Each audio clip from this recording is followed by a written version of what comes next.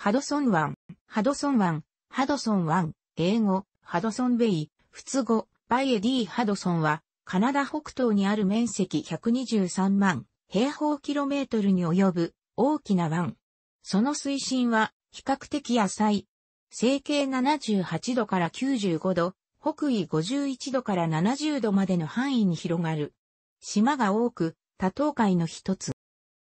湾内には、オタワ諸島、ベルチャー諸島、アキミスキ島などの島があり、すべてヌナブト準州に属している。ハドソン湾の南部、オンタリオ州とケベック州の境に向かって、ジェームズ湾が切れ込んでる。また東は、ハドソン海峡で、大西洋に、北は、フォックス海峡とローズウェルカム海峡から、フォックス湾などを経て、北極海とつながっている。国際水路機関、 IHO は、ハドソン湾を北極海の一部に分類している。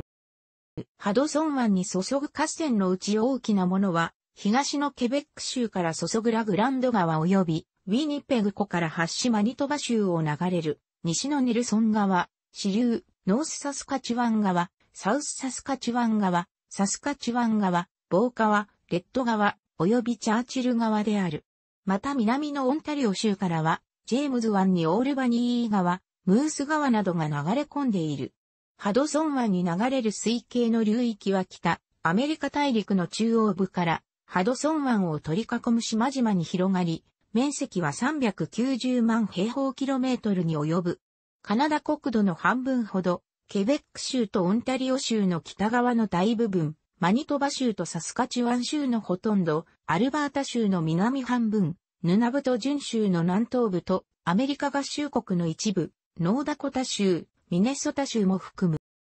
ハドソン湾という名前は、1610年に湾を探検したヘンリー・ハドソン、ヘンリー・ハドソンにちなんで付けられた。先住民の東部クリーゴでは、ハドソン湾を泥の水という意味のウィニピーキ南部方言、またはウィニパキ北部方言という、ウィニペグ湖、 Lake Winnipeg と語源は同様である。ヘンリー・ハドソンは1610年8月、イギリス船ディスカバリー号、 Discovery でこの海域に達した。彼は、イギリスやオランダの支援を受けながら3度にわたり、北米大陸を迂回するアジアへの最航路、北西航路を見つけようとしたが、4度目の航海でついに、グリーンランドの西海岸に出て、ハドソン湾まで達することができた。彼は、湾内の地図制作や測量を行ったが、冬になると氷に閉じ込められ、ジェームズ湾で越冬した。春になって氷が溶け始めると彼は西への航海を再開しようとしたが、厳しい航海と少ない備蓄に不満を募らせていた。船員は1611年6月22日に反乱を起こし、ハドソンとその部からは食料なしの小舟で置き去りにされそのまま行方知れずとなった。60年後の1668年にイギリス船ノンサッチ号、ナンサッチが湾内に入り、沿岸のクリー系民族らとビーバーの毛皮を交易することに成功した。それまで、ハドソン湾沿岸の良質の毛皮は、先住民同士の交易で南へ渡り、古代湖周辺で活動するフランス商人が独占的に扱っていた。これがきっかけで1670年にハドソン湾会社、 Hudson's Bay Company が成立した。ハドソン湾会社は、ハドソン湾及び湾に流れ込む河川の流域全土、ルパートランド・ Rupert's Land における交易の独占を勅許された。フランスはこれに対し何度も軍隊を送り対抗したが、1713年4月のユトレヒト条約でルパートランドに対する主張を放棄した。ハドソン湾会社は多くの砦や交易所を湾岸の大きな河川の川口付近に設けたオンタリオ州のフォートセバーンフォートセバーンマニトバ州のヨークファクトリーヨークファクテリーやチャーチル、チャーチルなど、これらの戦略的要所に設けられた拠点は、ルパートランドの内陸探検の基地となり、また河川を伝って往来する、先住民たちとの毛皮交易の場ともなった。ハドソン湾会社はこれら毛皮をモントリオールなどを経由せず、最短距離でヨーロッパへ直送し、距離を得た。これらの交易所は20世紀初頭まで使用された。ハドソン湾会社は、ハドソン、エスベイカンパニーと表記されたが、ハドソン湾自体はハドソンベイが正式名称となっている。このため、湾名や会社名はしばしば混同された上で、誤記されている。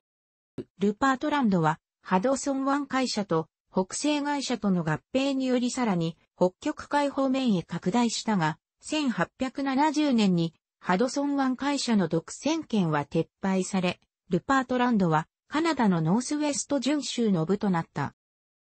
年間を通じ寒冷で、平均気温はマイナス摂氏5度である。水温は西岸で夏に最高摂氏9度で、12月から6月に湾は結氷しているが、最近100年間の気温上昇により、17世紀に4ヶ月しかなかった通る氷期間が伸びてきた。ハドソン湾は南北 1370km、東西 1050km に広がり、最大水深270メートルである。世界の海洋に比べ、海水の塩分濃度が低い。これは、ことが理由に挙げられる。表面が凍るのは12月中旬から6月中旬にかけて、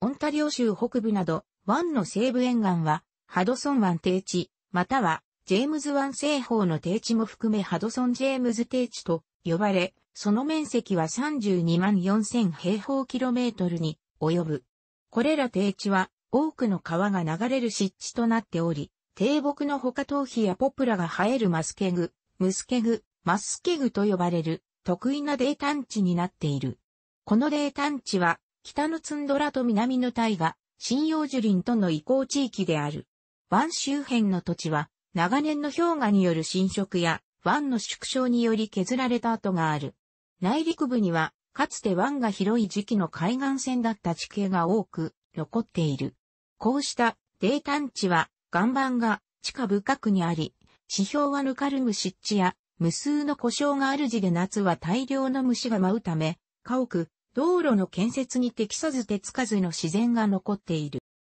ハドソン湾低地には、オンタリオ州のポーラーベア州立公園、マニトバ州のワプスク国立公園、ワピスクとは、クリーコで北極熊の意味がある。この周辺の泥炭地は北極熊が住むほか、ムース、カリブー、北極ギツネ、フクロウ、ハヤブサなどの多様な生物が生きる。海中には、ワモンアザラシやセイウチ、ベルーガや一角や北極クジラなどがおり、特にアザラシは北極熊の貴重な食料となる。近年は温暖化の影響からか流氷の量と凍結時間が減っており、例えばザトウクジラやミンククジラ、シャチなどがより進出してきている。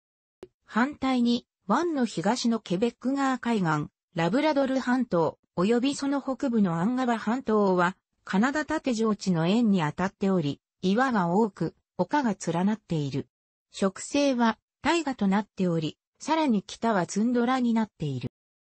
ハドソン湾、特に東側の海岸付近には多くの島が浮かぶ。これらはすべてヌナブと準州の管轄に入っている。例えば湾の南部、ケベック寄りにある比較的大きな群島、ベルチャー諸島、ベルチャーアイランズもその一つである。湾の入り口は世界有数の面積の大きな島々で塞がれている。主な島は西から順にサウサンプトン島、サウサンプトン、コーツ島、コツ、マンセル島、マンスセルがあり、フォックス湾とハドソン湾を分けている。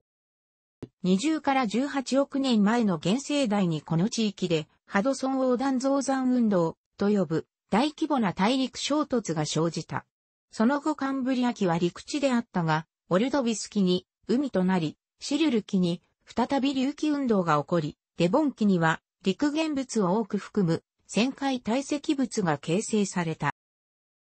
1960年代に地球の重力場を地図化し始めた時、ハドソン湾に広大な低重力が観測された。最終表記のによる地殻の圧縮が続いているためと当初考えられたが、グレース人工衛星による詳細な観測で、それだけが重力異常の原因でなく、マントル対流に起因することが分かった。現在の観測では、湾を中心とした地域は年間に 17mm と表彰消失による地殻の上昇が世界でも最も大きい地域となっている。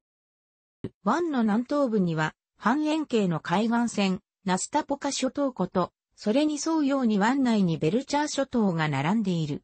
クレーターを想起させる、この地形の成因については、月面の避難の海との比較により先カンブリア時代に起きた地球外天体の衝突の衝撃によってハドソン湾が形成されたと主張する地質学者もいたが、現在において、なお地磁気や重力異常など地質学に確実に衝突地形であるとされる証拠は発見されていない。